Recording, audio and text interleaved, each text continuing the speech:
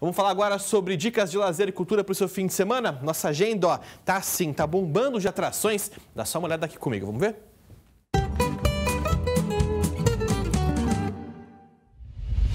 Disse que tá apaixonada, que quer ser minha namorada. Desculpa falar, mas tem outras querendo sentar.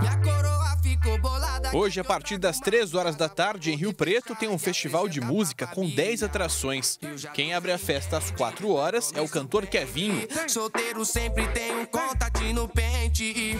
Me mata não, essa internet virou arma na sua mão. Tem também Jorge e Matheus. Eu vou trocar meu celular no Nokia tijolão que só manda mensagem e faz ligação. Se eu ver mais um vídeo seu, sem eu sendo feliz, certeza que a minha vida vai dar por um triz. Você fica me ilu-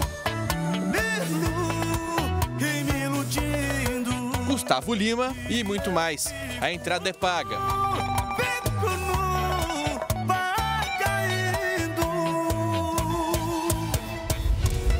Conversava com a roseira, beija-flor e contava pra mim. Um pouco mais tarde, às 8 da noite, na Casa da Cultura Raquel Dossi, em Ilha Solteira, tem a apresentação do espetáculo Fotolítero Musical.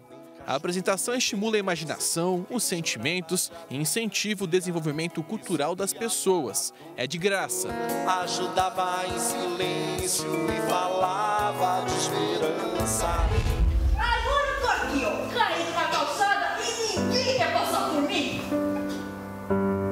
Amanhã, às 10h30 da manhã, no Sesc de Catanduva, tem a apresentação do espetáculo Zeppelin ou o Balão que Nunca Existiu.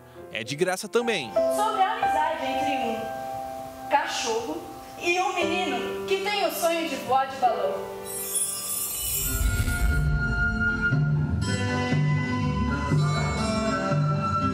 Em Presidente Prudente, amanhã tem a peça A Cuca Fofa de Tarsila.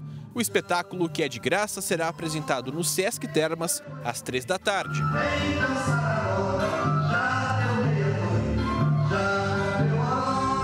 Que sensações são essas? São sensações de suave ternura, com um desfecho de um pincel apunhalado por um grande artista. E para encerrar, amanhã às quatro da tarde em Birigui, tem mais teatro. O espetáculo Riscos e Rabiscos será apresentado no Sesc da cidade e a entrada é de graça. Aproveite! Para pegar Os esboços!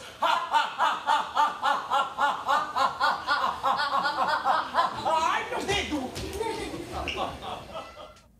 Muito legal, opções para toda a família, para todos os gostos e também todos os bolsos.